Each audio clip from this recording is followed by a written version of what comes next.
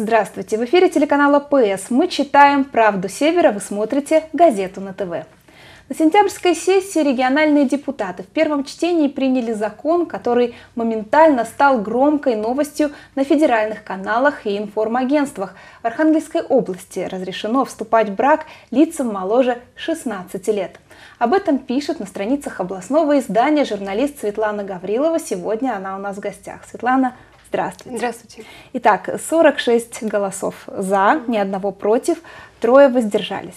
Вам удалось поговорить с председателем комитета Архангельского собрания Сергеем Мануиловым. Mm-hmm. Что говорит эксперт о новом законе? Эксперт говорит, что он считает этот закон трезвым и обоснованным. То есть, э, когда я его спрашивала о реакции его коллег-депутатов, э, может быть, они в кулуарах ему что-то говорили, а, он говорит, ну да, некоторые коллеги говорили ему, что вот этот закон это чуть ли не призыв к сексуальной свободе.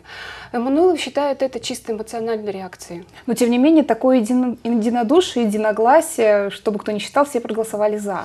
Честно говоря, меня это э, удивило, потому что я думала, что будут некоторые споры. Угу. Даже у нас в редакции по этому поводу возникали дискуссии. Причем еще и с мая месяца, когда мы уже знали, что будет такой закон. Ну вот, вот мы Но их не то, возникло. Что, а что Эммануилов говорит по этому поводу? Вот откуда, откуда такое единодушие? А, я еще раз повторю, он считает этот закон обоснованным.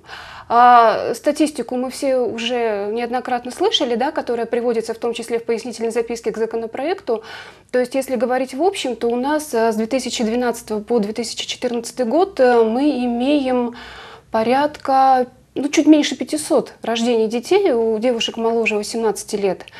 А, вот, и э, в частности, например, Эммануилов и инициаторы законопроекта, и депутаты, которые поддержали этот законопроект, они считают, что этим законом мы даем вот этим вот детям шанс на полноценную семью. Вот как раз говоря о цифрах, я угу. приведу цитату. Как говорится в пояснительной записке к законопроекту, в 2012-2014 годах в нашей области количество детей, родившихся у матерей моложе 18 лет, составило 497. Угу, угу. Молодые люди и их родители в подобных случаях сталкивались с очень сложными обстоятельствами, потому что они не имели юридической возможности для создания семьи.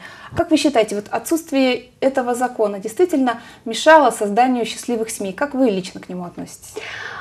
Скажем так, я не завидую сейчас людям, которым приходится в качестве экспертов комментировать этот законопроект, потому что тема очень тонкая, очень скользкая. И э, не имея, собственно, соответствующего опыта, либо не сталкиваясь с этими семьями вот в работе, да, очень сложно говорить об этом. А, мы с коллегами, например, думаем, что, возможно, лучше бы его не было, да, мы создаем себе какие-то дополнительные про проблемы, в том числе и в общественном мнении, да, mm-hmm. вот, а, существованием вот этого закона. А с другой стороны, опять же, вот в, частности, Сергей Дмитриевич ссылался на мнение работников органов, в том числе органов ЗАГС, а, к которым а, поступает масса обращений по поводу того, что вот молодые люди готовы пожениться, родители все за, а, прекрасная семья, прекрасные люди, должен родиться ребенок, но у них нет такого права, именно Такого юридического. возможности да. нет создать да. семью официально. Единственное, что нас пугало, и я этот вопрос э, Сергею Дмитриевичу задавала, а, разные очень есть ситуации, очень разные семьи и очень разные родители. И э, если в какой-нибудь не хочется обижать сельских жителей, да, но есть ситуации, например, в деревнях, когда девушка приходит и говорит, мама, вот у меня будет ребенок, и мама готова эту девушку выдать замуж любой ценой, лишь бы, вот, ну, условно говоря, покрыть позор семье, да. Кто этот муж? Как будет дальше жить эта девочка? Это очень большой вопрос. И вот это очень много сомнений вызывает, конечно. Вот говоря о разных семьях, как раз эм, ситуации эти будут решаться индивидуально, насколько э, мы можем понять из вашей статьи. То есть э, большей частью решение да, о том, давать право молодым людям mm-hmm. зарегистрировать свой брак или нет, будут принимать родители и специальные комитеты, какие-то органы, структуры, которые будут, собственно говоря, решать судьбу вот этих вот ребят. Mm-hmm не будет ли в этом какого-то возврата вот к прошлому?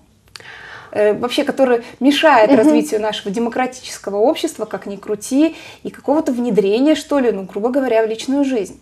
Вот, Катерина, вы знаете, я как раз человек, который за развитие гражданского демократического общества всеми руками и ногами, но в данном случае я а, очень активный сторонник создания вот этих так называемых коллегиальных органов, говоря чиновничьим языком. А, потому что, опять же, мы говорим, что ситуация в семьях очень разная, и отдавать все на откуп старшему поколению, либо этой девочке, которая еще совершенно социально незрелый, психологически незрелый человек, очень опасно. Мы можем сломать судьбу, этого ребенка и девушки, и, возможно, даже там, потенциального мужа. В данном случае вмешательство государственных органов не видится только плюсом. А еще решение не принято. Решение, я надеюсь, что этот вопрос будет рассматриваться на втором чтении законопроекта, э, предположительно в октябре. А, как рассказал Сергей Дмитриевич, предположительно будет создан коллегиальный орган при областном ЗАГСе. И вот возглавлять вот этот, вот назовем его там совет, там как угодно, предположительно, опять же, будет э, специалист ну, уровня заместителя губернатора по социальным вопросам. Вот. Он мне приводил пример, что в Нижегородской области, например, эту комиссию возглавляет сам губернатор. И что каждый случай будет рассматриваться отдельно, в том числе с привлечением работы органов опеки и попечительства, которые посмотрят на местах, а, что за семья, что за будущий или уже существующий отец, в какую семью мы можем передать этого самого ребенка 14 там, лет и так далее. Вот это, если все так сложится, как надо, если все будет работать как надо, то это мне вселяет надежду, что может быть, вот это все не зря. То есть вы за эти вопросы должны решать специалисты? Я за то, чтобы в эти вопросы в данном случае вмешивались специалисты, да. Говоря об опыте других городов, других регионов, приведу еще одну цитату. Мы далеко не первая. Архангельская область 26 или 27 субъект Российской Федерации, где принято аналогичное решение. Конечно, есть отличия. Кто-то установил возрастные рамки от 14 до 16 лет, кто-то от 13, кто-то вообще их не установил. То есть э, ну, не секрет, да, угу. что на севере э, дети, они взрослеют медленнее, чем угу. дети угу. на юге. На юге они гораздо э, раньше да, да, становятся взрослыми. взрослыми. А, никакой скидки на региональный компонент не делается, получается так? Насколько я понимаю, скидки на региональный компонент не делается, но опять же из статистики мы увидим, что а, вот сейчас подобные законопроекты больше продвигаются в средней полосе и на северо-западе России, а не, почему, не, не так, как нам может показаться вот в южных регионах. А, с другой стороны, есть примеры, когда наши северные условия суровые, да, они, может быть, даже больше способствуют э, взрослению человека. Повторюсь, очень тонкий вопрос, тут нельзя ответить однозначно. Светлана, а будут ли молодые семьи пользоваться патронатом? Вот, еще один вопрос, который, я надеюсь, что будет рассмотрен на, во время второго чтения этого законопроекта. Естественно, я уверена, что этим семьям нужно помогать, наблюдать их до совершеннолетия и так далее. А, вот поначалу а, в пояснительной записке к законопроекту значилось, что никаких дополнительных финансовых вливаний не нужно, что изменение бюджета он не повлечет. Конечно, нам нужны будут изменения в бюджет, вливания из бюджета и так далее, потому что это патронат, это, возможно, какие-то социальные услуги, психологическая помощь, юридическая помощь, которая, а, ну, как в том числе считают и приверженцы этого законопроекта, должна быть бесплатной. А раз бесплатной, значит за счет бюджета. Но, ну, если уж такой закон создан, он должен быть тогда обеспечен в том числе и деньгами, и всем остальным. Светлана, заголовок вашей статьи звучит так. Покрыть позор или создать семью. Чему все-таки, по-вашему, служит э, вот этот законопроект? Я не могу в данном случае ответить. Мы давайте поживем, увидим. А, я единственное, что надеюсь, что он будет работать и будет работать в том направлении, какое ему задавали его разработчики, которые считают, что ребенок должен расти в полной семье, в полноценной семье, что, возможно, многим детям этот э, закон дает на, ну, возможность на хороший социальный старт. Что ж, будем надеяться на угу. хорошее развитие событий. Я же благодарю вас за беседу. Ждем вновь вас в этой студии. Спасибо.